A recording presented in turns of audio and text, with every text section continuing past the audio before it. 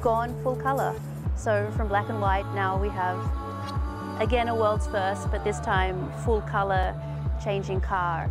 And it is e-ink, so it still has the advantages of being true color, and thus it looks great in sunlight. And it's still bistable. That means changing a color requires only a little bit of energy and holding it requires no energy at all.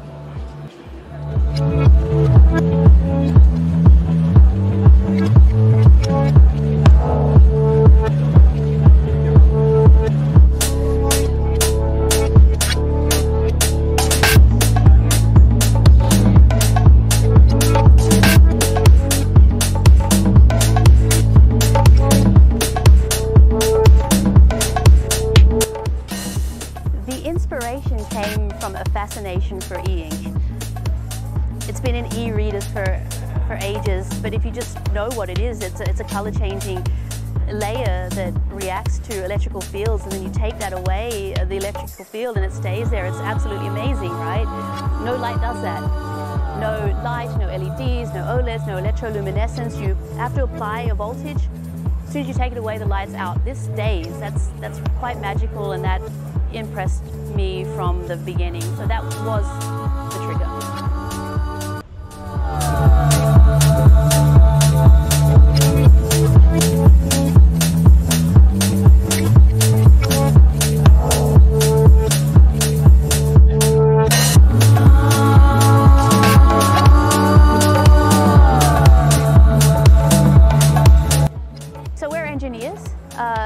Was very, very challenging. So this is still obviously material that's so new for an object like a car.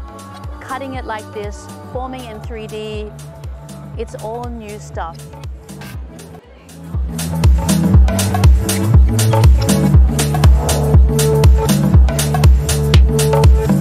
Yeah, we programmed patterns and designs that we thought people would like. Because we noticed last year people like the aesthetics of this and just the ability to ex- express themselves with the cars. We listed a number of use cases, kind of sensible use cases like information, like temperature, sunlight reflection, but we saw that most people didn't care so much for those, but rather just thought it was really cool.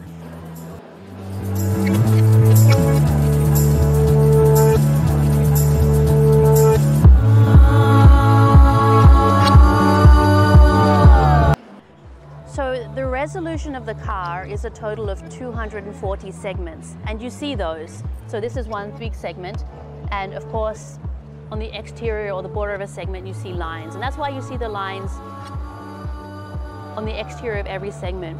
You see additional lines in there, for example, here and here in the fender area, you see like a lot more. And that's because of we needed it for flexibility to kind of form to the curves of the car.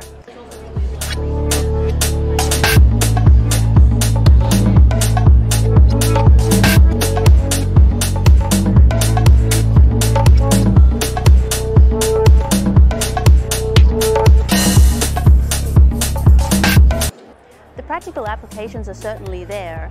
So information is one big one that you show information on the outside of the car. Warning, so during the keynote we showed this car flashing like purple yellow. If you're, as a collision's going to come, then the car flashes. Uh, you know, you don't only have lights flashing, but the entire car flashes. That's visually very, you know, dominant if that happens, and it could be a safety factor as well.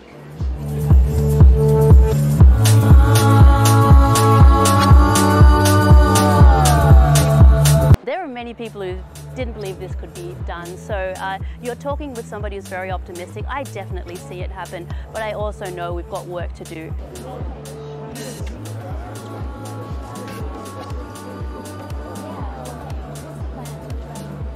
I've seen it on TV and I didn't uh, believe it's true until you kind of see it in person. It's uh, it's something that I, I don't even know. It's it's kind of impressive that the you know, last year it was just two colors, and now you can see it in a variety of colors, and it's, uh, my something I'd drive for sure.